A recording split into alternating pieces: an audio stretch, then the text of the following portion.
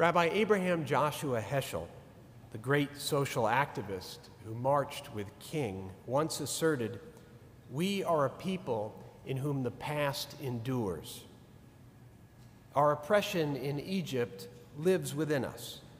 Our exile, our expulsion, our isolation, our internment, all inform our Jewish identity and our Jewish commitments.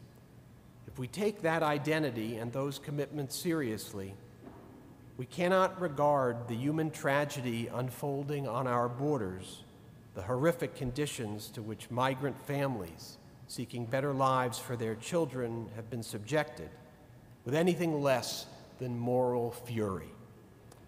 And now we are informed that Sunday, Immigration and Customs Enforcement will undertake additional efforts in cities around the country, including New York, to pursue the undocumented. Our sacred narratives and historic experiences call upon us to respond, whether by participating in any number of rallies, including one downtown tonight, by volunteering with immigrant justice groups, or by writing members of Congress.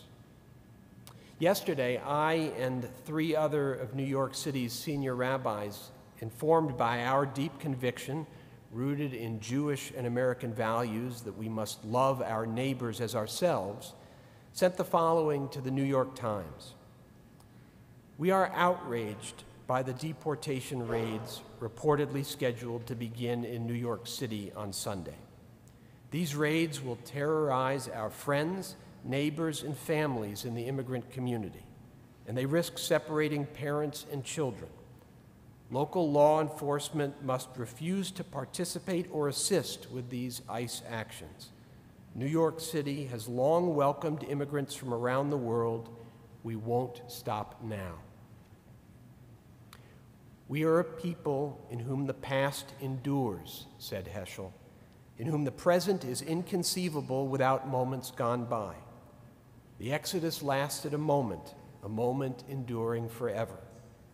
What happened once upon a time happens all the time.